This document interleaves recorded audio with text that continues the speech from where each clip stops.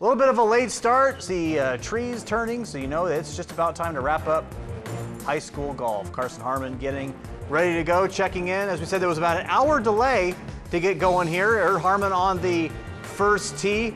Hits this one a little bit of left, gets into some trouble, but a nice approach here. Ends up getting within just a few feet of the pin. He would later tap that one in for bogey and move on to the next hole. And then he would tap this one in for par on the second hole. He would finish with a 78 for day one.